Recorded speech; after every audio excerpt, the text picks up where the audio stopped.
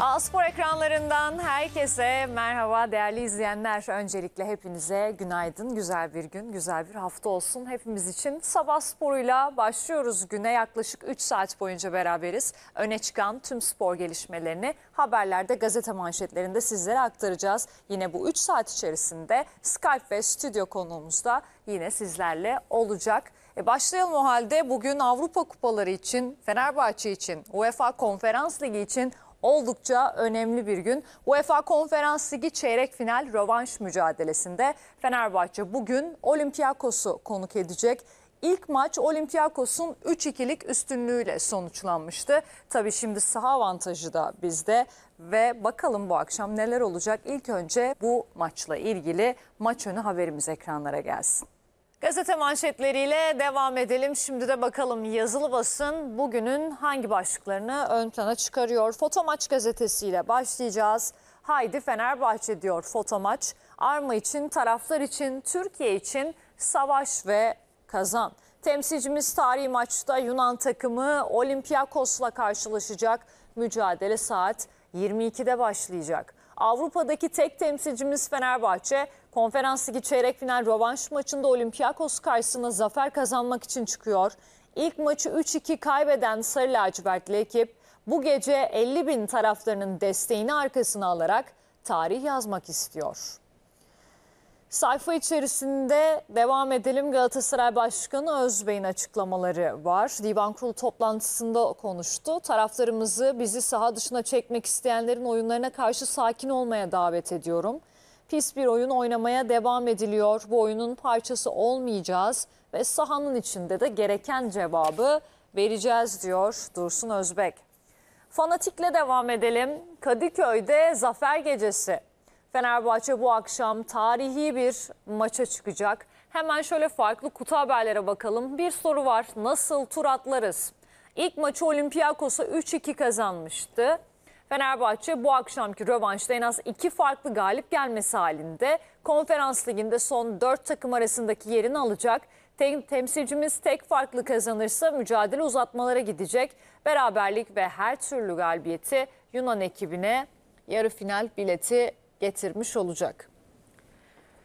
Sakatların büyük bölümü döndü. İsmail Kartal'ın eli bu kez çok daha güçlü. Fenerbahçe evin taraftarının önünde Olympiakos'u dize getirip son dört takım arasına kalmak için hazır. Beşiktaş'la ilgili Tete iddiası Beşiktaş'a Premier Lig'den bir sağ bek geliyor. Fulham'daki sözleşmesi bitecek olan Kenny Tete ile bir süredir temas halinde olan siyah beyazlı kulübün 28 yaşındaki futbolcu ile 3 yıllığına el sıkışmaya çok yakın olduğu öğrenildi. Hemen sayfanın en altına gelelim. Şampiyon Fenerbahçe İNG Kadınlar Basketbol Süper Ligi playoff final maçında Sarı Lacivertliler konuk olduğu Çukurova Basketbol Mersin'i 80-56 yenerek seride 3-0 öne geçti ve üst üste 6. kez şampiyon oldu. Hemen yanında bir şampiyon daha var. Şampiyon Halkbank Efeler Ligi finalinde de Halkbank Fenerbahçe'yi 3-0 mağlup etti. Seride 3-0 öne geçti ve şampiyon oldu. Bu iki takımı da tebrik ediyoruz. Sabah gazetesiyle devam edeceğiz şimdi. Uğur Çemin özel araştırma haberine bakalım 19. sayfadaki. Direk Sarayı Süper Lig lideri topu çerçeveye nişanlamada Avrupa'nın zirvesinde yer alıyor. Bu sezon 27 kez direkleri döven Galatasaray, PSV Eindhoven 26, Fatih Terim'in teknik direktörlüğünü yaptığı Panathinaikos 22 ile Liverpool, Benfica ve Feyenoord takımları da 21 ile takip ediyor sarı kırmızıları. Devam edelim Hürriyet gazetesine geçeceğiz şimdi de. Hemen sayfanın en üstüne geliyoruz bir basketbol haberi. Bahçeşehir İstanbul'a bıraktı. Kırmızı Ejderhalar FIBA Europe Cup final ilk maçında Alman ekibi Niners Chemitz'e 11 sayı farkla yenildi. İkinci Avrupa şampiyonluğu hedefiyle parkeye çıktı Bahçeşehir Koleji. Deplasmandaki mücadeleden istediği skoru alamadı. Temsilcimiz İstanbul'da rakibini 12 sayı farkla yenerse eğer şampiyonluğunu ilan edecek. Hemen sayfanın altında Fenerbahçe'yi tekrar görüyoruz. Sarı lacivertliler deplasmanda ÇBK Mersin'i yenerek final serisini 3-0'la tamamladı ve ligin namalup kraliçesi Fenerbahçe Kanarya bu sezon ligde oynadığı 35 maçın tamamını kazandı. Milliyet gazetesine bakıyoruz. Dev maç kapalı gişe. Fenerbahçe ile Olympiakos arasındaki rövanş maçı tamamen dolu tribünler önünde oynanacak. Çok az sayıda kalan biletlerin bugün tükenmesi bekleniyor. Sarı lacivertli taraftarların ayrıca görsel şov hazırladığı ve Ülker Stadı'nda coşkulu bir atmosferin de olacağı ifade ediliyor. Türkiye seninle haydi Fenerbahçe. Avrupa kupalarındaki tek temsilcimiz Fenerbahçe tarihinin en önemli maçlarından birini bugün oynayacak. 3-2 mağlup olmuştu. İlk mücadelede iki farklı yenmesi gerekiyor. Bu karşılaşmayı beraberlik olduğunda da Olympiakos'un kazanacağını söyleyelim. Aston Villa veya Lille Fenerbahçe Olympiakos elemesi halinde Aston Villa Lille eşleşmesinin galibiyle Avrupa Konferans Ligi yarı finalinde rakip olacak. Aston Villa geçtiğimiz hafta İngiltere'de oynanan maçı 2-1 kazanarak tur için avantaj sağlamıştı. Fransa'da bugün oynanacak rövanş karşılaşması da saat 19.45'te başlayacak. Dünkü basın toplantısından bazı detayları ekranlarınıza getirdik. Yine sayfalarda da gazetelerde de ağırlıklı olarak İsmail Kartal ve Dušan Tadić'in açıklamaları var. Milliyet'te de Dušan Tadić'i görüyoruz. Bizim için zorunluluk diyor Tadić. İlginç bir maç olacak. İki takım da kaliteli. İlk maçta rakibe pek çok hediye verdik ama daha sonra iyi bir sonuçla sahadan ayrıldık. Rövanşta fiziksel ve taktik olarak onlardan daha iyi olduğumuzu da göstermemiz gerekiyor dedi Dušan Tadić.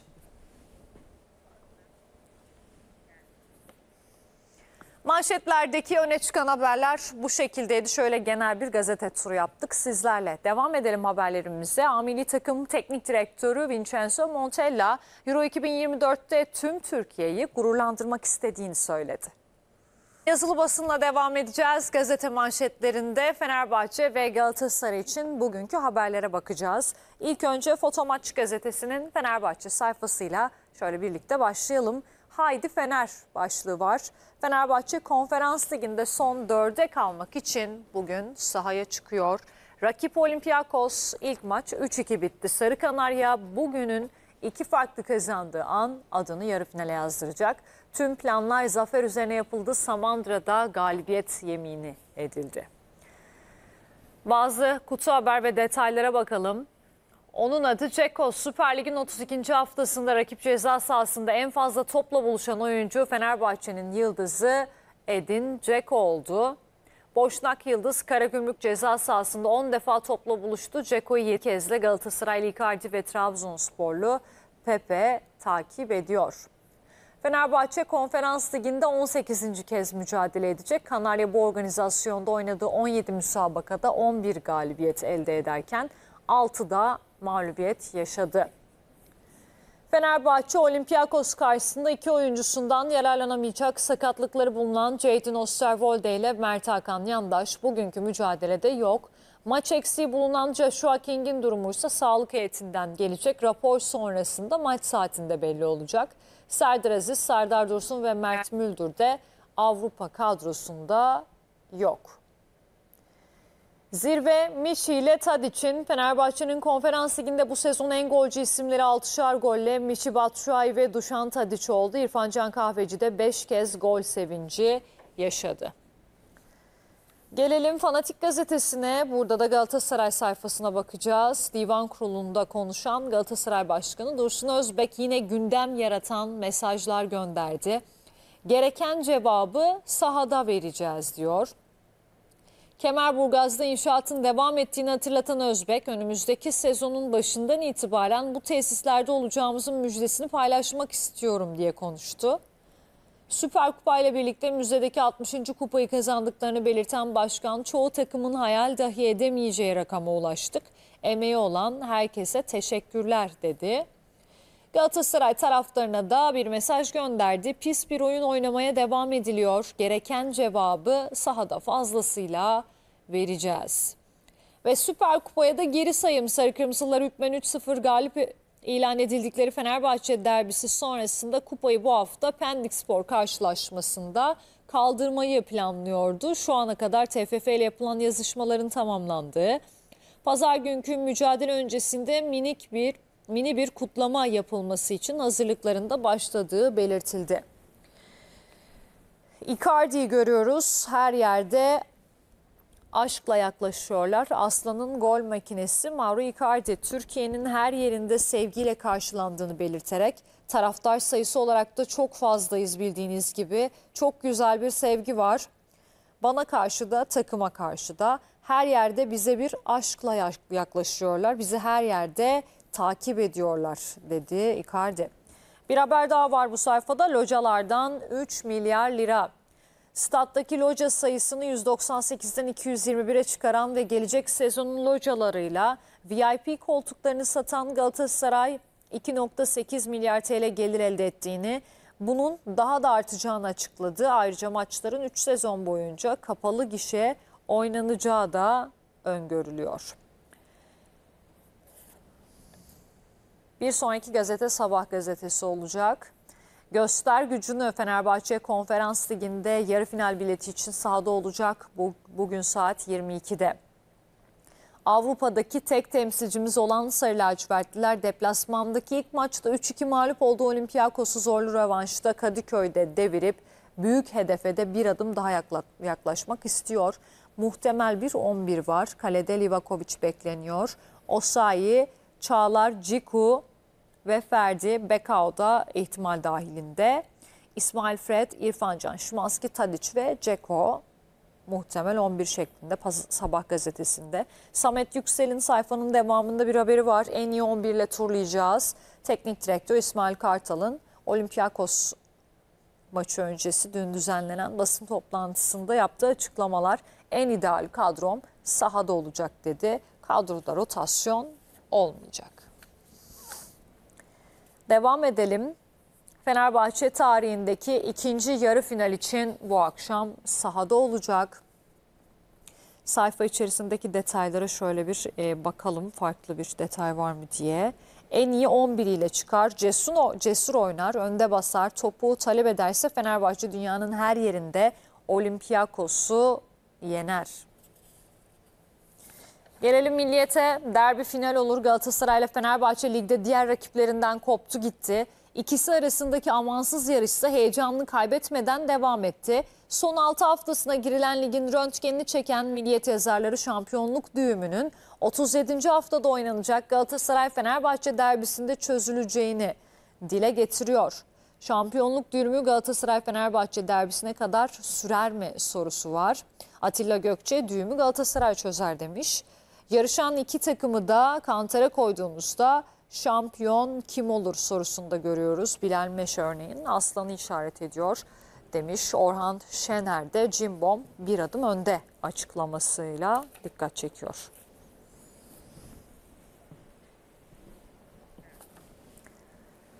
Evet gazete manşetlerindeki bu saatin ilk bölümünde Fenerbahçe ve Galatasaray için günün manşetlerine baktık. Fenerbahçe'de tabii ki bugünün maçı en önemli konu hepimiz için. Devam edelim Beşiktaş'ı bakalım bir de. Süper Lig'de bu sezon hayal kırıklığı yaşatan Beşiktaş hücumda son 17 yılın en kötü dönemini yaşıyor. Manşetlerdeki son bölüme geçelim. Beşiktaş ve Trabzonspor adına bakalım bugün hangi haberler var ve fanatikle başlayacağız ilk önce. Sür manşete bakalım çünkü Samet Aybaba'yı görüyoruz orada.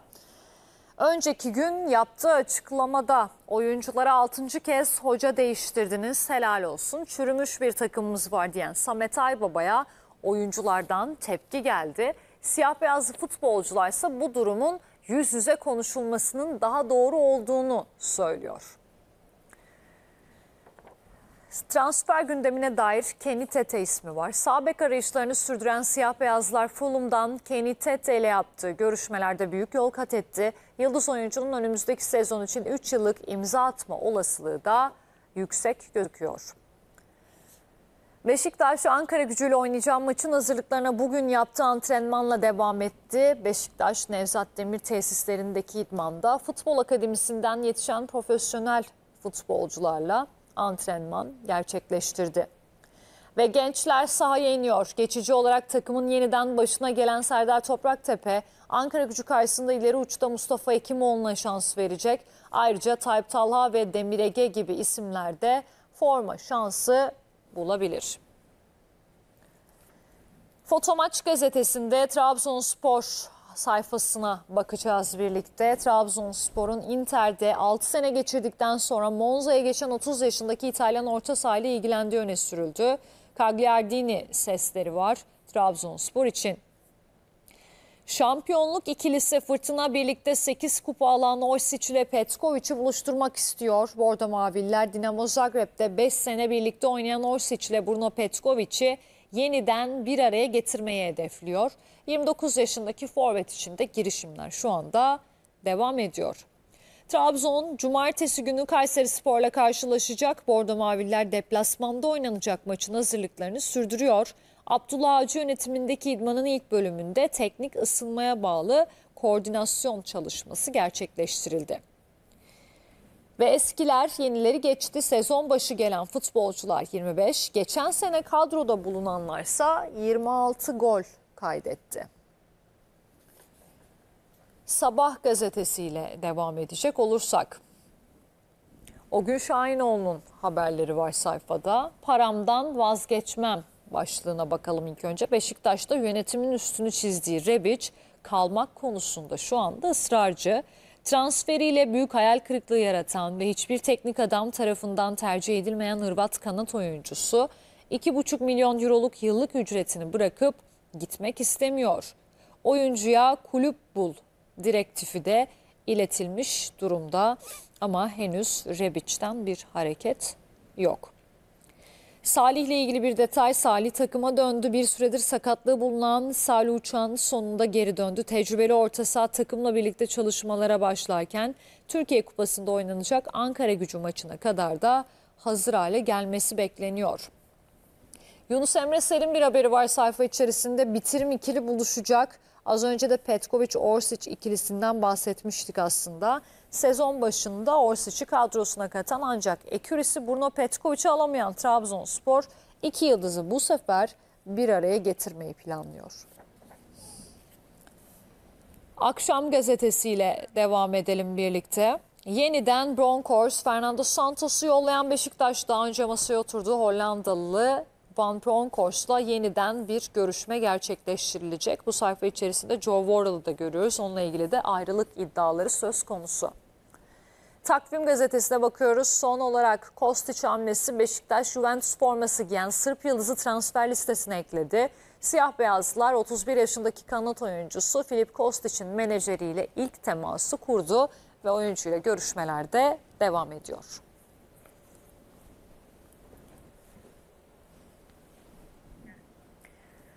Trabzonspor ve Galatasaray'la birlikte manşetler kısmını da noktalıyoruz değerli izleyenler. Haberlerimize şöyle sıradan devam edelim. Milli takım diyeceğiz. A milli takım teknik direktörü Vincenzo Montella Euro 2024'te tüm Türkiye'yi gururlandırmak istediğine vurgu yaptı. Skype bağlantısıyla devam edelim. Hüseyin Özkök bugünkü konuğumuz olacak. Avrupa dünyasındaki spor gelişmelerini kendisiyle konuşacağız. Hoş geldiniz öncelikle yayınımıza. Nasılsınız? Havalara nazar değdirdik galiba.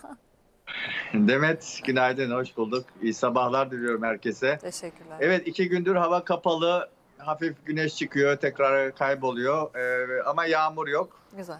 Ee, Nisan ayındayız, olabilir arada böyle havalar.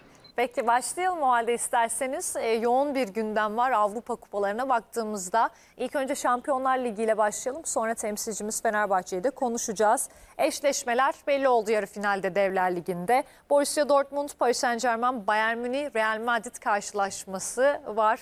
E, nasıl bu karşılaşmalar sizi heyecanlandırıyor mu?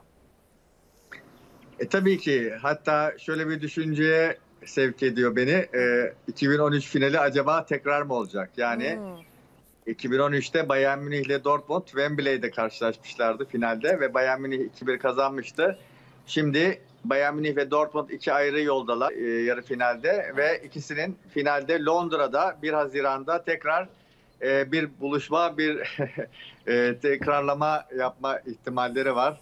E, dejavu da diyebiliriz buna belki. Evet. Ama tabii ki Bayern Münih açısından Real Madrid e, zorlu bir eşleşme. E, Dortmund Paris Saint Germain mücadelesi de çok korakor geçecek. Orada Paris Saint Germain hatta ben biraz daha favori görüyorum. E, dolayısıyla böyle bir e, final ortaya çıkabilir tabii ki. Hani Çeyrek final maçlarından sizi şaşırtan sonuçlar oldu mu? Çeyrek final e, karşılaşmalarından şaşırtan e, sonuç olmadı beni. E, Manchester City veya Real Madrid'den birinin e, turu geçeceğini, her şeyin olabileceğini söylüyorduk. Evet. e, Demet. Nitekim e, penaltılarla da olsa Real Madrid e, kazandı. Turu e, geçmeyi başardılar. E, iki maçta yenişemedi iki takım. Hatta dün akşam yani Manchester City'nin aslında oynanan futbola bakılırsa e, topa sahip olma işte 88 kere ceza sahası Evet. içinde buluşmuş Real e, e, City. İşte 33 şut atmış. Buna rağmen oradan bir tek gol çıkması Evet çok ilginç Ee, bir ve- istatistik vardı. evet. Ben de sabah dikkatimi çekti. %33 toplu oynama oranı Real Madrid'de. E, Manchester City %67 oranında çok farklı bir kesinlikle. e, istatistik. Hani işte hafta sonunda Luton tam 5 gol yedi ama Real Madrid yemedi. Ee, Dolayısıyla e, Real Madrid'in de farkı burada olsa gerek. Kaleci Lunin'i de tebrik etmek lazım. Hani adı çok bilinmeyen bir kaleci, Ukraynalı kaleci ama hakikaten iyi bir maç çıkardı. Ee, son dakikalarda Kevin De Bruyne'nin kaçırdığı gol var. Hakikaten e, ona yakışmayacak bir vuruş yaptı. Kalenin dibinden topu üstten gönderdi. E, o gol girse mesela bugün e, City Tabii. yarı finalde olacaktı ama hep bunu söylüyorum Demet. Real Madrid'in e, seninle de defalarca konuştuk. Real Madrid'in bu Şampiyonlar Ligi'ndeki kurumsal hafızası e, inanılmaz bir şey. E, 17 final oynamışlar, 14'ünde şampiyon olmuşlar. Şimdi de 18. finale doğru yürüyorlar. E, bu kurumsal hafıza oyunculara müthiş bir özgüven veriyor. Ve her zaman Şampiyonlar Ligi'nde Real Madrid'i e, kendi liginde ne yaparsa yapsın hesaba katmak zorundasın. E, bu sezonda böyle oldu. Manchester City'nin favori olduğu turda hatta kendi sahasında adeta ezdiği e, maçtan sonra Real Madrid yarı finale kalan takım oldu. E, bana genelde toparlamak gerekirse çeyrek final karşılaşmalarından çok çok büyük zevk aldım Demet. Evet. Dün akşamki mücadeleler tabii ki bir taktik savaşıydı. Çünkü Hı hı. ilk maçta beraber bitmişti ama toplam 8 karşılaşmada e, hakikaten muhteşem e, ziyafet e, yaşadık. E, harika goller seyrettik. E, ben kendi adıma çeyrek finallerden çok mutluyum. E, inşallah yarı finaller ve finalde bu derece kaliteli ve gollü geçer. Umarız. Peki konferans ligine geçelim o halde. Fenerbahçe Olympiakos maçını konuşalım. Evet Olympiakos'un 3-2'lik bir üstünlüğü mevcut şu anda. Ama saha avantajımız var. Ee, taraftardan beklenti e, bugün oldukça büyük. E, siz ne bekliyorsunuz Fenerbahçe'den? Şimdi ben e, Fenerbahçe Olympiakos eşleşmesinden sonra yaptığım yorumlarda Fenerbahçe'nin kadro kalitesi olarak kesinlikle Olympiakos'tan çok daha iyi bir takım olduğunu e, söylemiştim. Fakat ilk karşılaşmada ilk devrede e, hiç böyle tanıyamayacağımız bir Fenerbahçe izledik.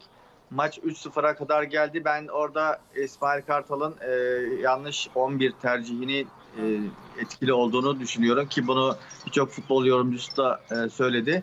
E, ikinci yarıda tabii ki yapılan değişikliklerle işler düzeldi. Burada da e, İsmail Kartal'ı hatasından döndüğü için kutlamak lazım ve Fenerbahçe e, kalitesini göstererek hani beraberliği yakalayamasa da İstanbul için en azından bir farklı mağlubiyette avantajlı sayılabilecek bir skor elde etti. Burada aynı kaliteyi 90 dakika boyunca gösterdiği takdirde Fenerbahçe e, Olympiakos'u eleyecektir diye düşünüyorum. Çünkü bu potansiyel kesinlikle var. Artı arkasında e, seyircisi olacak Fenerbahçe'nin.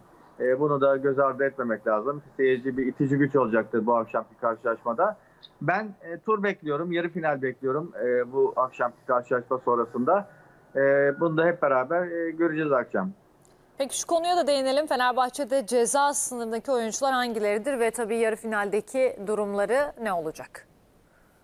Şimdi e, Osterwolde, İrfan Can Kahveci ve Fred e, ikişer sarı kartla ceza sınırındalar. Osterwolde sakat olduğu Evet. için zaten e, onun durumu söz konusu değil. Burada İrfan Can Kahveci ve Fred bu maçta sarı kart görürlerse yarı finalin ilk ayağında oynayamazlar. Ancak sarı kart görmezler de yarı finale sarı kart görmeden kalırlarsa yarı finalde bu sarı kartlar silinecek ve artık hani o orada görecekleri bir sarı kart finalde oynamama tehlikesi gibi bir durum yaratmayacak. Çünkü UEFA daha önce e, bunu değiştirdi. Bazı oyuncular e, yarı finalde sarı kart görünce finalde oynayamıyorlardı. E, bu da çok büyük tepkilere neden oluyordu. Dolayısıyla UEFA böyle bir düzenlemeye gitmişti yıllar önce. E, böyle bir durum söz konusu. Yani Fenerbahçe finale e, kalacak olursa inşallah e, hem e, İrfan Can Kahveci hem de Fred e, oynayabilecek durumda olacaklar. Peki konferans ligindeki diğer mücadeleleri de hatırlatmış olalım. Lille Aston Villa, Fiorentina, Victor Pilsen ve PAOK Kulüp Brüj mücadeleleri de yine e, bu akşam oynanacak. Fenerbahçe maçından önce e, izleyeceğiniz maç var mı buradan?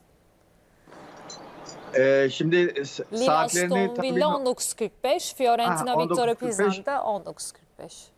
19.45'teki karşılaşmayı e, Lille Aston Villa'yı kesinlikle izleyeceğim. Çünkü Aston Villa Fenerbahçe'ye hani elediği takdirde rakip olacak e, Evet. veyahut da Lille. E, bizim için önemli bu açıdan. E, Aston Villa bir de konferans liginin benim gözümde e, favorisi bir takım başından beri ve bunu da zaten gösteriyorlar. Bu seneden çok formda Aston Villa ve Premier Lig'de de iyi işler yapıyorlar. E, bir, bu maçı kesinlikle izleyeceğim. Diğer yandan da Victoria Pilsen'i ülke puanı açısından e, takip etmek istiyorum Hı hı. bir şekilde. Çünkü e, Çeklerle biz 9. sıra için e, çekişeceğiz. Bu kalan iki takımla birlikte Victoria Pilsen ve Fenerbahçe. Ama ben hep söylüyorum zaten 9. sıradaki yerimizi garanti görüyorum. E, Victoria Pilsen turu e, geçebilir belki e, kendi sahasında e, olabilir. Ama e, biz yine de e, 9. sırada kalacağız gibi duruyor.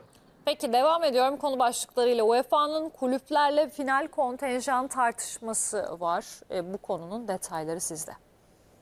Evet bu konu yıllardan beri e, hep tartışılıyor. Çünkü e, büyük statlarda e, UEFA e, katılımcı kulüplere yani finale kalan kulüplere e, yeterince kontenjan vermiyor eleştirileri e, var hep. Evet. E, hatta Jurgen Klopp da hatırlarsan e, eleştirmişti. Böyle bir eleştirisi vardı UEFA'ya.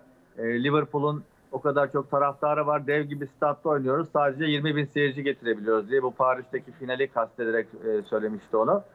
E, ama e, UEFA Başkanı Çefer'in de diyor ki e, size bu paraları kazandıran sponsorlara da bilet vermek zorundayız.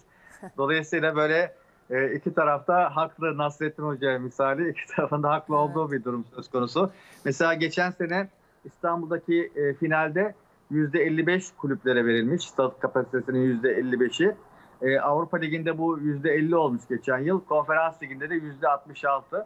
Tabii konferans liginde stadyumlar daha küçük olduğu için e, kulüplere biraz daha fazla kontenjan e, veriliyor. Orada hani sponsorlar e, daha az e, bilet alabiliyor ama Şampiyonlar Ligi'ne tabii ki e, çok büyük yatırım yapıyor sponsorlar Hı. ve onlara da e, Evet. mutlaka bilet vermek gerekiyor. Böyle bir tartışma söz konusu ama değişecek bir şey olduğunu sanmıyorum bu durumdan. Peki Bayern Münih'i konuşarak devam edelim. Çünkü göreve kim gelecek? E, bu en büyük e, soru işareti ve merak konusu hepimiz için. Nagelsmann mı, e, Zidane mı? Evet şimdi geçen gün bir haber gördüm. Zinedine Zidane'la ilgili Hı. Bayern Münih'le e, görüşmelerin sürdüğü söyleniyordu. Fakat e, son 1-2 günde Julian Nagelsmann'la ilgili e, çok fazla haber çıkmaya başladı e, Almanya basınında. E, hatta dün akşam da e, ben yayıncı kuruluşta, Alman yayıncı kuruluştan seyrettim Bayern Münih karşılaşmasını. Bayern Münih'in futboldan sorumlu yöneticisi Max Eberl e, bu konuda yine sorulan soruya e, açık bir cevap vermedi ama Hı hı. sanki Julian Nagelsmann olacak gibi duruyor. Bunu çok kısa sürede artık sona geliyoruz. Çok kısa sürede açıklayacağız e, diye söyledi. Diğer yandan e, Julian Nagelsmann'ın e, menajeri de e, çok yakında bir açıklama yapacaklarını bu konuda söyledi. Yani anlaşılan o ki e, Bayern Münih o daha önce gönderilen Julian Nagelsmann'ı o haksızlığa uğradığı düşünülen Nagelsmann'ı tekrar takımın başına getirecek. Çünkü takımı tanıyan e, Alman bir teknik direktör kendileri için çok daha büyük avantaj. Tabii. Peki Milan'la devam edelim. Milan kulübünden saha kenarına bir tribün uygulaması geliyor. E, nasıl bir uygulamadır bu? Evet bu futbolda e, ilk kez uygulanan Milan tarafından uygulanan e, bir olay. E, basketbolda hepimiz biliyoruz e, sağ kenarında Evet. e, koltuklar, sandalyeler vardır. Orada evet e, orada e, bir bölüm seyirci çok yakın şekilde oyunculara ve sahaya maçı izlerler. Hı E, şimdi de Milan kulübü e, San Siro'nun tribünlerini e, belli bir bölümünü sahaya yedek kulübelerine çok daha fazla yaklaştırarak orada böyle locaya benzer e, tribünler yaratmış ve tabii ki onları e, çok daha pahalı ücretlerle e, satmaya başlamışlar. E, bu işlere para yatıracak tabii ki böyle hasta e, futbol hastası parası olan e, Tabii. insanlar var. E, burada işte teknik direktör nasıl talimat veriyor, orada Evet. hangi konuşmalar oluyor bunları birebir e, seyirciler yaşayabileceklermiş. Güzel bir deneyim. Tabii ki basketbol kadar böyle iç içe olan olması mümkün Hı. değil bir stadyumda ama mümkün olduğunca e, yaklaştırmışlar yedek kulübelerine tribünleri. Keyifli. Peki çok teşekkür ederim Evet. aktardığınız tüm bilgiler için. Tekrar güzel bir gün diliyoruz size. Hoşçakalın. Ben de teşekkür ediyorum. Görüşmek üzere. Herkese selamlar. Hüseyin Özkök'le birlikte Avrupa'daki spor gelişmelerini konuştuktan sonra değerli izleyenler Sabah Spor'undaki bu saat dilimimizin de sonuna gelmiş bulunuyoruz. Kısa bir ara 90 A'da dün neler konuşulmuş bir kolaj görüntülere bakalım. Sonrasında saat başında tekrar buradayız. A Spor ekranlarından herkese bir kez daha merhaba diyoruz. Sabah Spor'unda 3. ve son saat dilimiyle tekrar karşınızdayız. Haberlerimizi size aktardık, gazete manşetlerini okuduk. Bu saat dilimimizde de stüdyo konuğumuz olacak. Mahmut Alparslan'ın yorumlarını alacağız. Hoş geldiniz. Günaydın, hoş gördük. Nasılsınız? Bomba gibi şükür. Sen nasılsın? Ben de çok iyiyim. Çok Vallahi teşekkür dün ederim. şöyle kısasıyım. Ankara'dayım, atama ziyarete gittik. O mükemmel Harika. ya. Uçmuş gibi geri döndük tekrardan. yani tabii her gidişte insanlar e, farklı bir hissiyatla geliyorsunuz. E, hafta ortası olmasına rağmen bir de önemli bir gün olmamasına rağmen e, Evet, felaket kalabalık. Yabancılar çok var. Tesadüf eseri Kamerun'dan birilerine Fransızca bir, bir şey muhabbet ettim. Aynı şehirden çıktık Duvala'dan. Orada uzun. Yani e, demek istediğim bir yabancı çok fazla var. Çok fazla ziyarete geliyorlar. İki atamız varmış. Onu da İyi gidip ki. kısa bir ziyarete geldik. Çok iyi yaptınız. Siz de sık sık seyahat ediyorsunuz zaten değil mi? Yani arada sırada. Önceden Benden çok, çok, ettiğiniz önceden çok fazlaydı. Peki bugün önemli bir gün. Tabii bu hafta içerisinde e, Avrupa Kupa maçları vardı. Şampiyonlar Ligi'nde artık yarı final eşleşmeleri belli oldu. Bugün Avrupa ve Konferans Ligi'nde de önemli karşılaşmalar oynanacak. E, nasıl geçti bu hafta sizin için? E tabii Şampiyonlar Ligi'ni seyredersen e, hiç burada buraya hiç konuşmaman gerekecek öyle bir, bir seviye. Tabii çok farklı bir yerde onlar.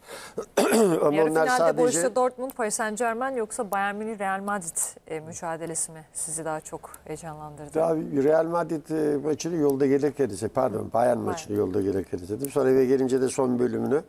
E, tabii e, ya hepsi farklı. Birbirinden çok farklı takımlar. E, fakat bunlar tabii yeni bugünden yarına değil senelerden beri hep böyle. E, biz de bunları hepsi daha işte izleriz ve konuşuruz. Biz niye böyleyiz ama olma şansımız çok zor yani. Bunlar e, uzun vadeli ve devamlı çalışılan temelleri çok sağlam atılmış yerler. Ya vallahi e, penaltılarla. Şimdi bakıyorsunuz Real Madrid genç bir kadro var. Ee, City'ye bakıyorsunuz genç bir kadro var. Bayern'e bakıyorsunuz genç bir kadro var. Ee, Dortmund deseniz yani bütün takımlar öyle kalmadı 35'likler 30'ya Tabii. bir tek işte bir Genç Modric jenerasyon. falan iki tane falan var. Yani çok fazla değil. Çoğunlukla hep yatırımlar farklı ve kimsenin bilmiyor. İşte kaleciyi biliyor musunuz? Bilmiyorsunuz ama Real Madrid'in adam buluyor, getiriyor, oynatıyor. yani bulup oynatıp sürmek önemli ve siz zirveye gidiyorsunuz. E Zaten e, Real Madrid bu galaksinin en başta gelen bir takım birinci sırada ondan sonraları diye sıralarsınız artık geçiyor. Evet. E, tabii derisi bizim takımların başında İnşallah. diyeceğiz Şimdi inşallah. bugün e, konferans ligi var. Konferans ligi mücadeleleriyle başlayalım değerli izleyenler. Avrupa kupalarında kalan tek temsilcimiz Fenerbahçe. E, bugün konferans ligi çeyrek final rövanşında Olympiakos'la karşı karşıya gelecek. İlk mücadele Olympiakos'un 3-2'lik galibiyetiyle sonuçlanmıştı. Bakalım bugün neler bekliyor bize. Şöyle bir maç önü haberimizi ekranlara getirelim. Sonrasında bu karşılaşmaya dair tüm detayları konuşacağız. Maç önü haber ekranlara geldi. Fenerbahçe Olympiakos mücadelesi bu akşam saat 22'de başlayacak. Evet Kadıköy'e geliyor Olympiakos. Ee, Olympiakos ilk maçın sonrasında e, deplasmandaki oyunumuza çok güveniyoruz demişti. E, basın toplantılarında da hem oyuncular hem de teknik direktör e, performanslarına güveniyor. Biz e, bir adım öndeyiz dediler. E, sizin e, düşünceniz nedir? E, saha avantajını nasıl kullanacak Fenerbahçe? Bu konuda bazı yorumlar gördüm aslında. E, taraftarın sessiz olma ihtimali gibi konuşmalar gördüm sosyal medyada çok fazla. Valla bilmiyorum da ben e, nasipse maçta olacağım. Güzel. E, izleyeceğim. Harika. Ee, Olympiakos bundan evvelki yayınlarda da söylemiştim. Yani belki son 10 yılın en aşağılarda seviye olarak aşağılarda oyuncu kalitesi olarak da Fenerbahçe'nin yanına sokulamaz. Orada ne olduysa bir hareket yaptı Fenerbahçe. 3 gol yemek yani o takımdan 3 gol yemek e, yani 10 kere yapsanız belki bir maçta denk gelebilir öyle bir şey. O da oraya Sonra bir denk geri geldi. döndü ama bu kadar dönemedi. Yani ben sana bir şey söyleyeyim. Evet burada kolay kolay ceza sahasının içine giremezler. Fakat Fenerbahçe'de en büyük handikap, en büyük sorun neresi biliyor musun? Hepimizin belki de atladığı bir yer. Stoper hatları çok değişti Fenerbahçe'de. Yani sürekli değişiyor. Ve kaleciye hep biz kızdık. E kaleciye kızıyorsun da önündeki herkes değişiyor. Bir tek değişmeyen kaleci var ama öndekilerin hepsi değişiyor. Orta sahada da tabii bazı sakatlıklar. Sizin ana damarlarınızda devamlı oynayan oyuncularda bir sıkıntı yaşarsanız şimdi Osterwolde oynuyorsunuz, Serdar oynuyorsunuz atıyorum. e, Cik oynuyorsunuz, Beka oynuyorsunuz. Bor- Borici geldi, o oynadı, o değişti. Çağla ya devamlı bir stoper değişir mi şampiyonluğa giden bir takımda? Ama o- ona nazaran da gene başarılar. Gene seviye çok yukarılarda. Yani e, biz tabii e, izlediğimiz Olympiakos ve bu sezonki Olympiakos'un e, oyun formatına bakarsınız, oyuncu formatına bakarsınız Fenerbahçe'nin çok altlarında. E, Burada yani Fenerbahçe ben gol yemeden e, istediği sonucu çok rahatlıkla alabileceğini düşünüyorum. Yalnız gene de kısa bir geçeyim orada. Mesela Karagümrük maçında da bilhassa ikinci devre çok farklı bir Fenerbahçe'si. Evet. Galatasaray da aynısını bize sundu. Çok pozisyona girdiler. Ne hikmetse pozisyonları değerlendiremediler. Sonra kalecisi sahneye çıktı.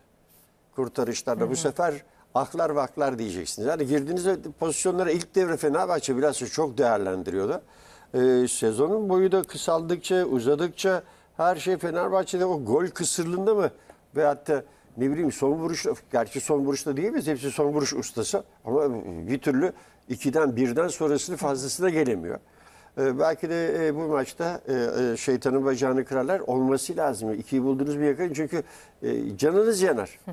E, emin olun canınız yanar. Şimdi herkes tabii hep şey dedi ya e, kaleciye işte maç kurtaran kaleci olacak. Abi maç kurtaran kaleci varsa demek ki senin takımın kötü. Her kaleci maç mı kurtarır?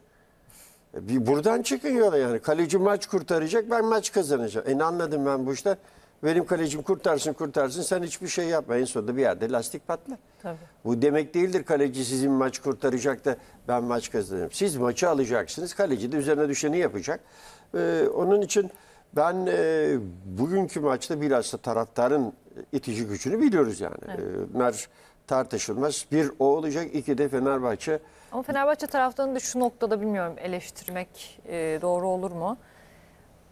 Takım gol yedikten sonra geride olduğunda e, taraftar sessizleşiyor. Bu sezon üzerinde çok gördük. Şimdi öyle bir şey ki onlar da tabii e, biraz da e, hak vermek gerekir. E, Senelerden beri koşuyorsunuz. Tabii. İşte bu sene de mi olmayacak, etmeyecek bir kırılma mı yaşayacak? Fakat Fenerbahçe golü yese bile bu takım kırılmayı yaşamaz. Bu takım çok üst seviyede oyuncularla kurulu.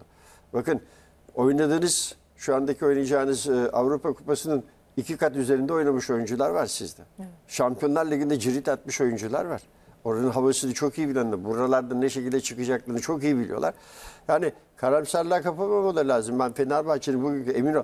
Yani e, korner falan o hariç normal olarak Olympiakos'un yani 6 en fazla 7 kere gelebilir ceza sahasına gelebilirse o da. Yani ben öyle bir maçı yaşatacaklarını düşünüyorum. Burada o e, Olympiakos'un attığı gollerden ziyade çabuk attığı gollerden ziyade siz bunları yaparsanız Olympiakos'un zaten gardını düşürürsünüz. Yani onlar sizin elinizdeki gibi fert fert bakalım oyuncu kalitelerine o şekilde oyunu çevirecek kali- e, kaliteleri yok. Hoca bakma demiş yani biz işte deplasmanda daha iyi oynuyoruz ama burası da burası da Türkiye abi buradaki deplasmanlar farklı oluyor. Ki e, bir de kaliteye bakacaksınız. Sizin oynadığınız ve elediğiniz takıma bakın kalitesine. Oyuncu kalitesi, oyun kalitesi bir de size bakacaksınız. Ka- Onun için e, ben Fenerbahçe'nin yarı finali e, göreceğini İnşallah. e, düş- düşünüyorum değil öyle olacak. Olması lazım. Olmazsa zaten abi hiç bir daha 3 üç, şey kulvarda oynamayın. Tek kulvarda oynayın. Düşünmeyin Avrupa falan ona göre takım kurun. Ya öyle. E, bu takımlar ne için kuruluyor? Bizlere ne, neler sunuyorsunuz? Hep Türkiye'ye gidiyorsunuz, e, Avrupa diyorsunuz. Bütün kulvarlarda e, şey kupaları e, talibiz. Evet. E, talipseniz buralarda da artık bir yerde boy göstereceksiniz yani. Bakalım inşallah ama ben e, Fenerbahçe'nin çok net bir skorla, net bir oyunla ve tatmin edici bir oyunla e, geçeceğini düşünüyorum. Esas onların sıkıntıları lig maçları olacak oralarda. Evet, Oralar diyorsun. biraz farklı oluyor. Altı mücadele. E, konferans liginde e, bu karşılaşmanın ilk mücadelesinden bahsettiniz. Oyun olarak e, bazı eksiklikler olduğundan. Kadroyu konuşarak devam edelim isterseniz. Çünkü o maçta e, hem sakatlıklar olması sebebiyle hem de e, ligdeki karşılaşmayı düşünerek rotasyona da gitmişti İsmail Kartal. Özellikle orta sahadaki performanslar hiç beğenilmedi. Sonrasında oyuncu değişikliği geldi ve oyun hemen döndü. E, dünkü basın toplantısında da e, İsmail Kartal rotasyon yapmayacağını söyledi. Hemen bu şu Az rotasyon. kadroyla Fenerbahçe'yi göreceğiz. Rotasyon olayla hakikaten çok karşıyım işte. Manchester City izlediniz, Bayern'le doğru. Hepsi oynuyorlar da biz nereden neyse. Ee, şimdi oradaki olayı biz çok iyi bilmemiz lazım. Hoca da açıkladı maçtan sonra. Şimdi siz e, kulüp doktoruna konuşup da mütalaa yapıp da derse ki doktor size o tamam oynatalım ama bize 20 dakika oynayabilir. Yarım saat oynayabilir. Fazlası zarar olabilir ileriki maçlarda. E siz de ona göre bir takım çıkarın. Nereden bileceksiniz ki sizin elinizdeki oyuncular orta sahada o e, oyunu toparlayamayacağını. Bir yerde toparlayamadılar. İşte Kuruni çok kötü gözüktü, Zayis kötü gözüktü. Hepsi kötü gözüktüler orta sahada. Bir de birbirlerine devamlı oynayan oyuncular gelince bu sefer oyun şekli değişti. Mesela çünkü sürekli bunlarla oynuyorsunuz. Sürekli oynamak farklıdır. Bir de işte ne bileyim 7 maç sonra bir tanesini atın oynatın veyahut da ikisini üçünü oynatın. Ee, burada problemler ister istemez yaşanıyor. Çünkü onlar hazır değiller. Devamlı oyuna hazır değil. Mesela kurun içi herkes güzel kızacak bir oyuncu değil ki. Şimdi siz e, Fred, e, İsmail Kuruniç'le oynayın. Oyunun tarzı çok farklı gider. Veyahut da Zayis'le oynayın çok farklı gider. E, ama o maçı yaşadılar. O maçı tabii hocanın dediği gibi görmek lazım çerçeveden. Yani e, sağlık ekibine konuşuyorsunuz. Sağ, sağlık ekibi size bunu söylerse size de yapacak başka bir şeyiniz yok. E, ona göre de 20 dakika veyahut da yarım saat oyuncular ona göre oyunun içine atmaya çalışıyorsunuz. E, Bugün tabii çok farklı olacak. Bugün belli işte Fred, İsmail, e, artık birazdan bakacağız onlara. oynar giderler öyle. E, az kadroya çıkacaklarını söylemişti ama İsmail Kartal başka neler söyledi? İsterseniz şöyle bir basın toplantısını ekranlara getirelim. Dün bugün oynanacak maç öncesi basın mensuplarının sorularını yanıtladı İsmail Kartal ve oyunculardan Dušan Tadić. Açıklamalar ekranlarınıza geldi. Hem teknik direktör İsmail Kartal hem de oyunculardan Dušan Tadić'in açıklamaları. Şöyle e, cümleler üzerinden gidelim. Taraftarımızın önünde yarı finale çıkmak istiyoruz dedi İsmail Kartal. Oyuncuların bazı performanslarından bahsetti. Ciku gibi e, karakterli bir oyuncu dedi. Tabii e, son durumu merak ediliyor Ciku'nun. Şu anda sağlıklı son durumuna göre oynayıp oynamamasına da e, karar vereceğiz. Maç saatine yakın açıklamasında bulundu. Birazdan muhtemel 11'e de bakacağız ama şu sakatlık konusunu bir e, konuşalım diyorum. Çünkü İsmail Kartal oyuncuların bu kadar fazla maça çıkması sağlıklı değil dedi. Hatta bu fazla sakatlıklarla ilgili e, antrenman örneğini verdi ve yurt dışından kulüplerden de bahsetti. Bilmiyorum sizin bu konuda yorumunuz ne olur? sonraları, son dönemlerde bu çok fazla konuşuluyor. İngiltere'de, Evet. bilhassa İngiltere'de çok fazla oynandığı için. Futbolcu sağlıkları ama ona göre de hepsi hazırlar. Yani bir yerden bir yerden bir sıkıntılar oluyor. Bu sizin yanlış antrenman veya doğru antrenmandan falan değil. Yani bu darbeden oluyor, fazla yüklenmelerden oluyor. Veyahut da geçirdiği sakatla zaten size gelen topçuların e, işte kaç kişisi 18-20 yaşında geliyor ki hepsi yaş faktörleri çok yukarıda. Bir yerde de e, fazla bindirmeler e, ki bu dönemde zaten bindirme olmaz. Bellidir. Çift maç oynuyorsunuz, seyahati oynuyorsunuz. Oradaki geçen antrenmanlar bellidir. Yani bu işin içinden gelenler bilir ne şekilde bunlar olacağını. E, bu öbür takımlarda da var yani. Sadece sizde alakalısı değil. Avrupa'nın bütün takımlarında sakatlık işte Bayern Münih'te sakatlık da var. Ama bunlar e, diğer oyuncular o kadar hazırlar ki çoğu da e, gireni çıkanı aratmayan oyuncular olduğu için hepsi aynı kalibrede. E, fazla oralarda sıkıntı yaşamıyor. Abi sizde iki tane, üç tane olmadığı zaman ya üçlü de Fred olmadı mı bu takım olmuyor. O olmadı mı bu olmuyor. Buraya gidiyor konu. Biz bunu bir toparlamamız lazım. Sadece Fenerbahçe de genel bakmak lazım. Bu seviyedeyseniz, bu seviyede takımlarsınız ki 3-4 büyük takımımızdan konuşuyoruz. Sizin belli. Sezon başlarken siz Türkiye Kupası, e, Türkiye Ligi, Avrupa Kupası bunları oynayacaksınız. Bu üç kategoride gideceksiniz. Ne kadar gidersin o farklı bir şey. Ama bunları her sene oynuyorsun. Ama E yani- transferleri de zaten buna göre yapıyorsunuz. yani o, o yapıyorsunuz da işte e, yaş mefhumları yukarı çıkınca e, orada antrenman metotları da sizin düşündüğünüz gibi olmuyor. Yani şimdi düşünün Manchester City'nin kadrosuna bakın, Real Madrid'in, Bayern'in yaş ortalamalarına bir bakın. O kadar gençleşmeye gittiler ki onlar. E bunlarla da her türlü oynayabiliyorsunuz. Her türlü çalışmaları yapabiliyorsunuz. Yani e, hocalara burada çok fazla yüklenmemek lazım. Bilmeden bir safaki ya işte çok aşırı yükleme veyahut da hiç çalışmıyor değil. Orada bu, bu olabiliyor yani. Böyle insan vücudu farklı bir yerde e, patlayabiliyorsunuz. E, onları yaşadı hoca ama toparlanması da çok e, çok uzun dönemli sakatlıklar kim var? Bir tek BK oldu. E Şimdi Osterwolde sakatlandı. Osterwolde'nin sakatlanması maç ritmisundan mı, e, şeyden maç temposundan mı? O andaki yanlış basmada pat menisküs gitti. Sezon Ya ne kapatıldı dediler ama oyuncu çabuk toparlanmış. Yani. Ee, son belki bir iki maça Şimdi yetişebilirmiş. menisküs dediğiniz artroskopi pat giriyorlar alıyorlar. Menisküsten bahsediyorum. Ben ben oldum menisküsü. 70 seneler küsürlerde dizi kaldırdılar, yarıyorlar. Daha hala izi var. O dönem aynı e, şey çapraz bağlar koptuğu gibi uzun süre gidiyordu. 7-8 ay oynamıyordunuz. Antrenman yok bir şey. Ve bazılarında çoğunda futbol hayatı bitiyordu. Gidemiyorlar ya. Şimdi ama tedavi metotları biraz daha... Menisküs artık şey grip gibi oldu. Hakikaten grip gibi. Yürüyerek çıkıyorsunuz. Ben 3 hafta ameliyattan sonra hastanede kaldım. Yani şeyden kalçadan bileğe kadar alçı 3 hafta ondan sonra ameliyata karar verildi. Yani o dönemler öyleydi. Evet. Yani e, sakatlıklara bir şey diyemezsiniz. Bunlar e, adele sakatlıkları tabii çok aşırı fazla gelirse ama şu ana bakıyorsunuz hep darbeden olan sakatlıklar da var. E, yapacak bir şey yok yani insanız biz makineler çatlıyor yenisini getiriyorsunuz. Yani e, burada bir şey değil Evet. ama hocaya ben şunu beklerim yani hoca işte e, Olympiakos kaliteli abi kaliteli de siz daha kalitelisiniz. Siz burada hakikaten ben hep Biraz daha özgüvenli açıklamalar mı beklediniz? ben bekler der ki ben burada geçeceğim kardeşim ben diyor hiç şansı yok derdim Olympiakos. Yani hoca biraz şey naif davranmış burada. Ya sen kadronu biliyorsun elindeki elemanlar şimdi aynı tepeye koyabilir misiniz Olympiakos oyuncularını? Fert fert gidelim. Ya siz böylesiniz yani. Öyle bir kadroya sahipsiniz. Burada siz bir şey yapmışsınız bir içerideki o hocalar diyelim yani içeride de hocalar var. Sahanın için oynuyorlar işte e, Cekos'u, işte Tadic'i, e, Fred'i bunlar da bir başlı başına bir hoca. Oyunu yönlendirenler. E onlar zaten işi götürür orada. Fazla bir şeyinize gerek yok. Oyun prensibiniz belli, oyununuz belli.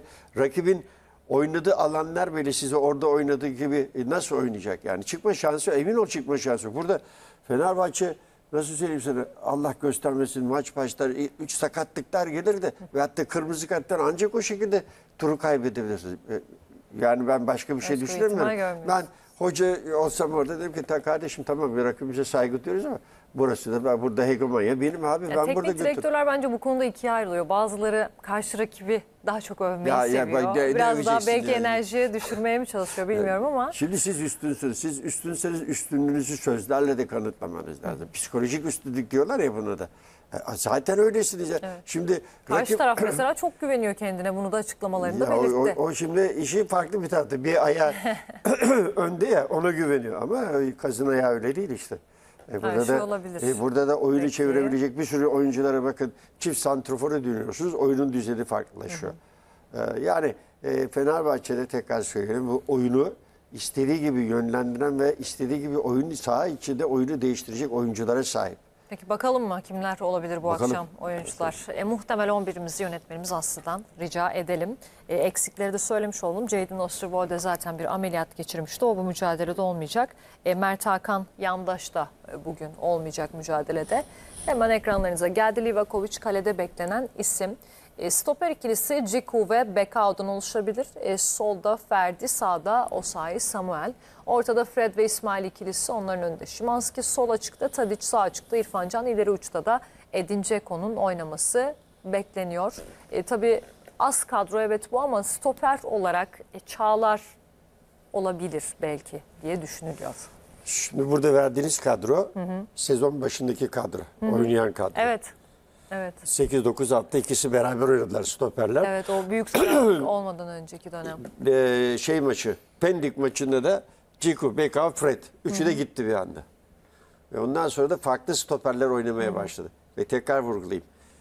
Bu takımın devamlı stoperlerin değişmesi, değiştiği ha- halde devamlı zirvede ve Avrupa'da hedefe gitmeye çalışıyor. Ya kolay işte emin olun şurası çok önemli şu ikili. Daha doğrusu o dörtlü değilim. Yani müdafaa. Ana damarınız sizin orası. Ve her hafta bak sen ne diyorsun Çağlar. Olabilir Çağlar da olsa sırıtmaz. Kötü maç çıkarabilirsiniz. Çağlar ilk Olympiakos maçında çok eleştirdi. Hatta maç sonu özür de diledi. Sonra Fatih Karagümrük maçında çok iyiydi. Sevgili Demet özür dilemeye gerek bir şey Evet. yok ki. Bu futbol burada hepimiz yaşıyoruz bunu. Tabii. Ve bu yaşıyor- takım oyunu. Siz bunun altından çıkacaksınız. Yani e, e, Çağlar dediniz işte Altın Ordu'dan çıkıyorsunuz. Freiburg'a gidiyorsunuz. Freiburg'da belli bir seviyeden sonra İngiltere'ye transfer oluyorsunuz. Ve İngiltere'de en önemli bir noktada top oynamaya çalışıyorsunuz. Stoper olarak sizi transfer ediyor İngiliz takımı. Yani hadi orta saha forvet ben deseniz amenna stoper. Evet, bir Türk oyuncu olarak oraya stoper gidiyorsunuz. Yani çok büyük bir başarı. Ondan sonra da geldiği yerler zaten belli. Milli takımımızda. Ama hatalardan biz yola çıkarsak onu futbolu okuyamayız. Fe- Fenerbahçe'nin bir oyun e, ritmusu var. E, Fenerbahçe'nin bir takım oyunu var. Ve elindeki oyuncular da herkes mevkilerinde e, çok fazla artıları olan oyuncular. E, onun için ben e, oradan yola çıkıyorum bir de takımın oyundan bir de o, takım kalitesinden ben e, bu maç yani öyle yüzde 95 falan değil yüzde yüz yani. Yüzde Bunun yüz aksi diyorsun. olursa aksi olursa e, e, emin ol ki burada topçuları sorgulaman lazım. Vallahi yani. Yani şimdi ha bundan 5 sene evvel, 7 sene evvelki Olympiakos'u tartmış olsak çok farklı bir Olympiakos vardı. Ama bu sizde aynı seviye, aynı gemiye binecek, aynı kayaya binecek bir takım değil. Avantaj İnşallah yanılmayız. E, çünkü biz hem e, ülke futbolu olarak da e, Fenerbahçe'nin e, yarı finale gelmesi, gidebildiği yere kadar gitmesi, finalde ihtiyacımız var. Bu sadece Fenerbahçe genel ama şu anda tek o var bizim takım.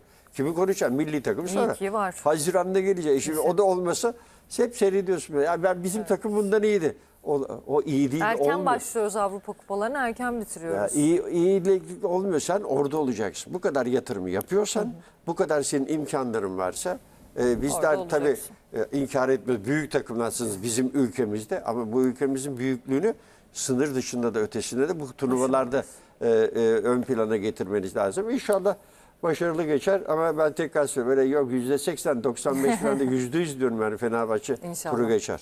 Peki Fenerbahçe'yi noktalayacağız. Şöyle e, gazetelerdeki muhtemel 11'lere de baktım farklı bir şey var mı diye. E, genelde e, Ciku Çağlar ya da Bekao, e, Ciku gibi ihtimaller var. Bakalım onu da bu Bir akşam tek orada göreceğiz. zaten bir Evet, aksaklık diğer olur. yerler Başka yerlerde e, genel işte aynı sezon başındaki 11'e geri döndü. Evet.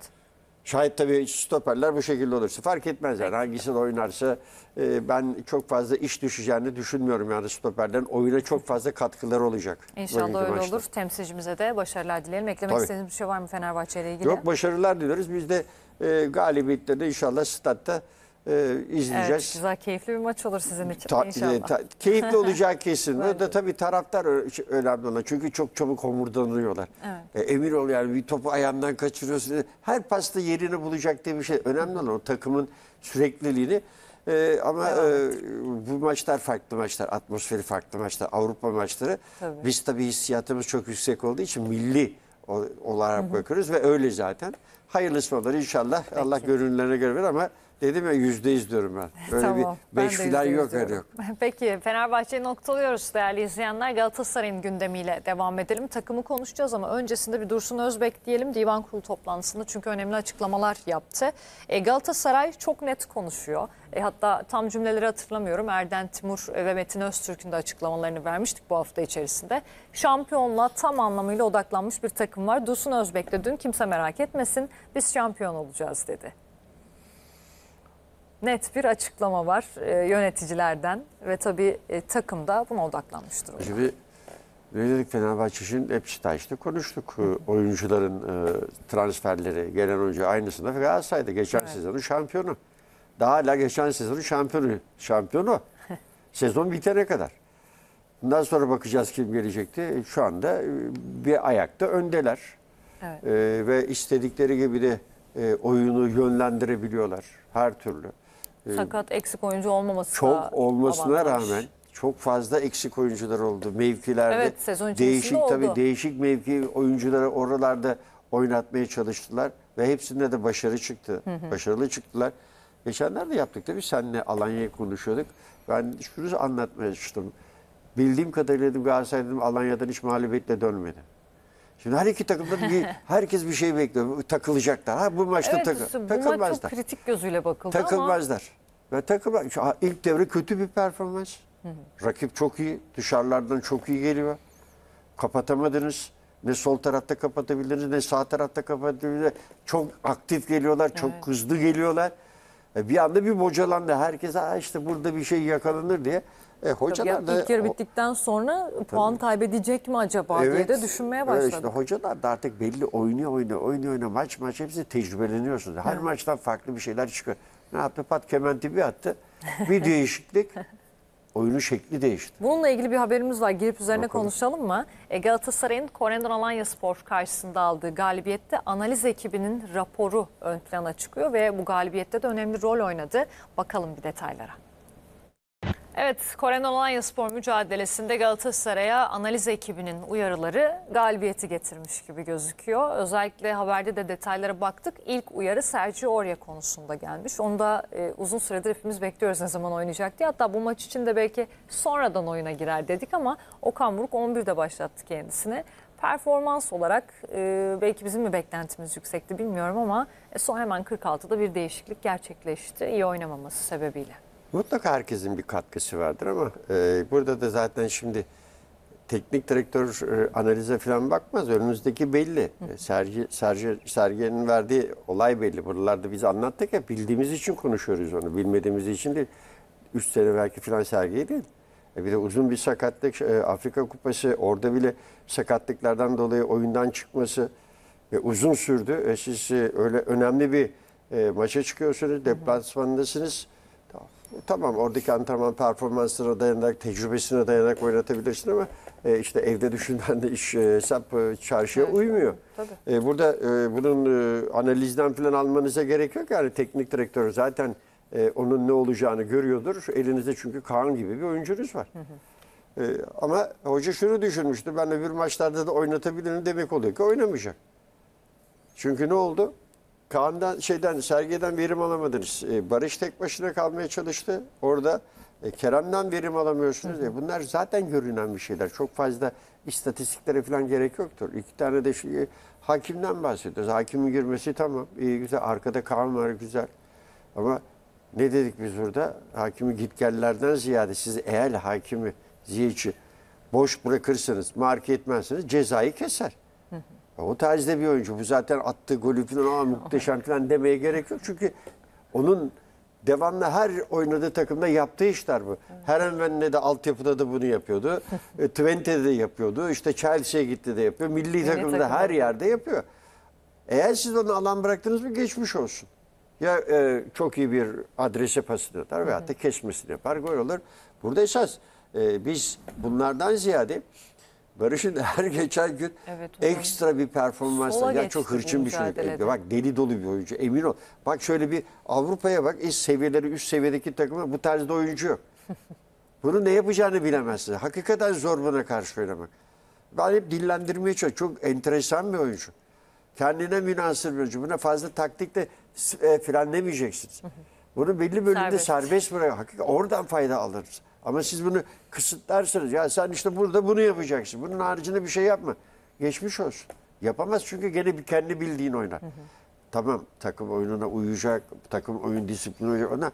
Ama bir yerde de e, siz ona hoca olarak bir şey veremezsiniz. Çünkü çok farklı bir şey. E, bu da tabii Ama de verilen görevleri de düşündüğümüzde e, Çok işte aslında diyorum ya. risk de alıyor bir yandan Okan Se- Buruk. sevgili Demet oynaması e, Kerem şeye karşı e, Barış'a karşı oynamak hakikaten zor müdafaa. Anlık ne yapacağı belli olmayan bir oyuncu. Şimdi bir oyuncuyu biliyorsunuz. Ziyech. Ha ben bunu fazla mesafe bırakırsam aldı mı gider. Ya da şey oynayacaksın, çok ısırarak oynayacaksın. Ee, öyle ya da iki kişilik markajla vakit kapatabilirsin. Mesela Zaha girdiği zaman vücudunu çok iyi kullanabilir. Ama bu öyle değil. Bunu ikiliyi de sıkıştırsan, üçlü de sıkıştır, tek de bıraksan e, topu bile geçiyor bazı zaman. E, ama ne var? Gene dönüp dolaşıp takım oyununa geliyoruz. Takım oyununuzda siz e, belli bir şablonlar, belli bir modeller oturttuğunuz zaman burada analiz de olsun, kim olursa olsun hiçbir şey fark etmiyor. Takım oyunu. Burada Mertens'in kendine fazla, Icardi'nin farklı bir oyunu var. İçeride bakıyor topları alamıyor mu? Icardi geliyor geriye. Bu sefer bir on numara gibi oynamaya çalışıyor. O tarafa itmeleri yapıyor arkadaşlarını. E Şimdi geçen sene herkes geçen sene yok geçen sene yok, toplar gelmiyor. Yok o bitti. E Onu da görüyor onları gelmediğini bu sefer ne yapıyor? Kendine farklı bir oyun içinde oyun üretmeye çalışıyor. İşte bu da intelligent oyuncular bunu yapar. Standart kalmıyor orada.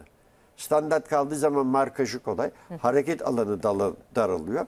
Bu sefer e, topla fazla buluşma ama bu tarafta topla buluşup işte Mertens'i kaçırabiliyor. Oradan Barış veyahut da Kerem girebilecek içeri. Hani Galatasaray'ın kendine münasır bir oyun var. Bir bocalama, bu her takımın yaşadığı bir bocalama. Bu da neden kaynaklanıyor biliyor musun? devamlı maç yapmamaktan. Serzenişte bulunuyorlar ya. Çünkü siz seri maçlara adapte olmuş oyuncularınıza sahipsiniz. Haftada iki maçı, üç maçı, on günde an oynayan oyuncular. bir. O makine çalışıyor. Düşmeye başladı bu sefer de antrenmanlarda farklı bir metodu. Oyuncuların temposu da düşüyor. E biz bunlara bir türlü alışamadık daha hala. Onun için yorgunluk vardır. Esasında devamlı sürekli maç yapmak siz hepsinde ama diye mesela Alanya gibi takımlar ne bileyim e, işte Kayseri gibi takımlar haftada bir maç yaptıkları için o tempoya hep alışıklar. Ama siz çift maç yaptığınız için devamlı oynuyorsunuz. Hep aksiyon Peki içindesiniz. kalan 6 haftayı düşündüğümüzde Fenerbahçe'nin evet devam ederse konferans ligi de e, devam edecek iki kul var. E, Galatasaray sadece ligde. Evet. E, bunun Galatasaray için avantajı ne mesela? Ya şimdi bunu artık çeviriyorlar. Yavaş yavaş onlar da o tempoya alışacaklar. Alışıyor, vücut Tek da noktaya alışıyor. odaklanmak ya da e, bir sonraki karşılaşmaya kadar e, tek bir rakip üzerinde 4-5 gün çalışmak e, pozitif bir yöndür Ya sanırım. mutlaka şimdi e, bunlar hep her sene e, bu çift maçları oynayan takımlar. Her sene oynuyorlar. Kimisi uzun gidiyor, kimisi kısa gidiyor, kimisi de farklı oluyor ve milli takımlar falan filan filan bir sürü gibileri var. Evet. Ama e, elinizdeki oyuncular tabii seviyeler yüksek olunca burada da oyun modelleri farklı çıkıyor. İşte mesela herkes da işte ya Mertens ne güzel kesti. E kesti onu da Napoli'de de yapıyordu. Yani ilk defa yapan bir şey değil. Bize farklı bir oyun kültürleri gösteriyor bunlar. Top gelmeden ne şekilde oynanacağını. Sen Mertens'i görüyor musun ya boşu boşuna kendine eforunu sarf ettiğini, koştuğunu deli tavuk gibi her yere. Öyle bir pozisyon oluyor ki Torreira da bunlardan bir tanesi. Herkes bir Torreira üst seviye aman diyor şey. Ama adam öyle bir pozisyon oluyor ki tak diye geliyorsun. Adamın kapattığı alana sen geliyorsun ve ayağını koyuyor alıyor gidiyor. Veriyor bitti. Her yerde. Bunlar pozisyon bilgileri çok seviyeleri üstte olan oyuncular.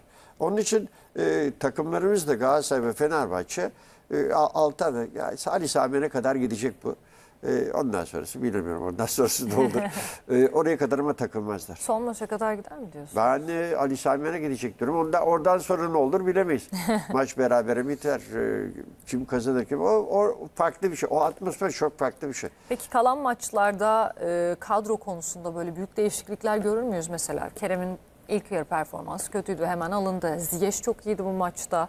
E, Barış Alper sola geçti acaba solda devam eder mi? Sizin Her şeyi yaşayabilirsiniz. Ziyech'siz de oynayabilir gene Kerem başlayabilir. Ziyech'le başlayabilir. 45 dakikada çıkarabilir. Şimdi bir de onu göreceksiniz. Siz rakibinizi yıpratıyorsunuz. Ondan sonra elinizde 90 dakikayı belki hazır olmayan bir oyuncu ki üst seviyede bir oyuncudan bahsi söz ediyoruz.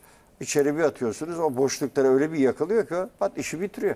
Bir de oyunun bu tarzı var. Kafadan mı oynatırsınız? Adama tam rakip böyle tam dinamik böyle dinç bir pozisyonda e, onunla mı başlarsınız veyahut da işte Barış gibi Kerem gibi yıpratıcı oyuncularla oynayıp rakibi e, yorduktan sonra da bu tarzdaki oyuncular. O tabii rakibe bağlı, oyun e, felsefelerine bağlı. Mesela ben Pendik maçında büyük olasılıkla Ziyech'le başlayacağını düşünüyorum. Öyle mi? Tabii. Çünkü orada topa hakim olmanız lazım. O kapatmaları, o ara pasları daha iyi e, kullanacak oyuncuya hakimsiniz. O da Ziyech bir tanesi. İşte Barış ve Ziyech olabilir. Zaten öbür taraflarda değişiklik yok. Kaan %99'un üzerinde oynar.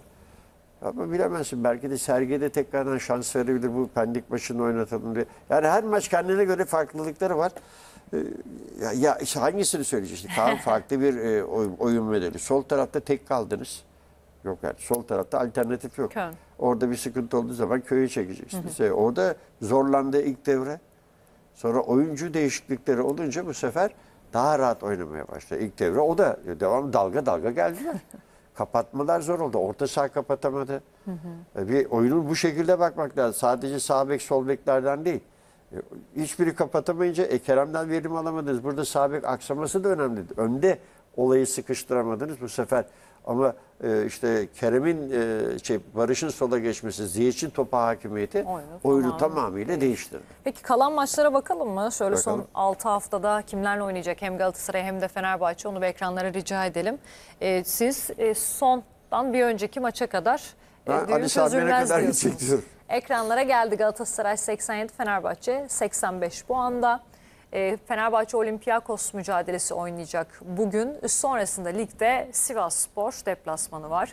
Beşiktaş'ı ağırlayacak, Konya Spor deplasmanına gidiyor. Kayseri Spor ağırlayacak. Sonrasında Galatasaray derbisi ve İstanbul Spor maçı.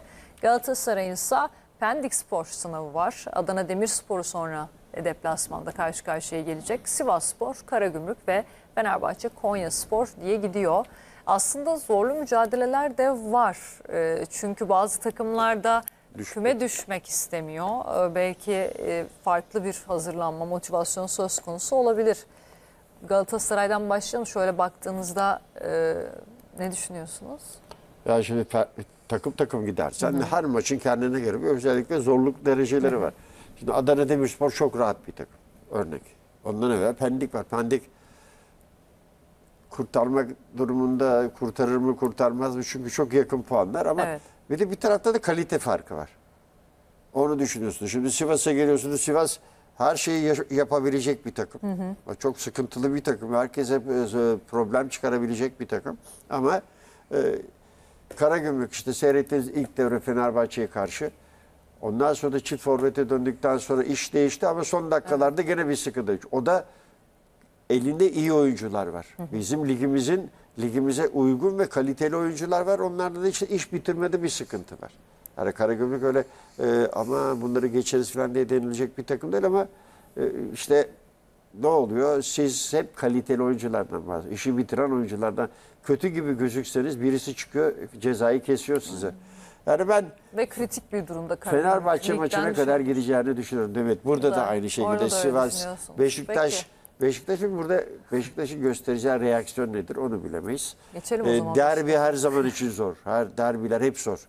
Ve tahmin etmesi de çok zor. Aynen öyle. Peki Beşiktaş'a geçelim mi o halde? Geçelim yani e, Fenerbahçe, Galatasaray onlar şu anda gidiyorlar. Bakalım ne yapacak. Aynen öyle. Beşiktaş'ta bir teknik direktör değişikliği gerçekleşti. Fernando Santos gitti. Serdar Topraktepe ile devam edecek takım. E, Sezon içerisinde Serdar Topraktepe'yi izleme şansı elde ettik. Hatta özellikle dokunuşları genç oyunculara fırsat vermesiyle ön plana çıktı. E, Serdar Topraktepe'den beklentiniz nasıl? Ya Allah e, yolunu açık etsin yani verir misiniz vermez misiniz devam eder misiniz? Çünkü biz güvenmiyoruz öyle. E, İşte şu anda sana söyleyeyim Belçika'nın antrenörü, teknik direktörü daha doğrusu milli takım teknik direktörü Schalke'den gelmiyor. Schalke'nin altyapısında falan 33 yaşlarında falan hocalık yaptı. Belçika milli takımını çalıştırıyor. Yani e, verilir mi verilmez mi biz bizde şu vardır. Yazar ya işte o ne olacak bize şu gelsin bu gelsin. Öyle Evet şu olmuyor. anda yazılıyor zaten. Yani futbol e, futbol e, çok farklı bir olay. Yani burada hocalar tamam iyi güzel de e, bakıyorsunuz yurt dışında da gencecik hoca, hoca- hocalar var ama 100 milyonluk topçu var emanet edilmiş. Ve adamlar takır takır oynuyorlar. Oyun felsefesi çok önemli. Sizin yapacağınız işlev önemli.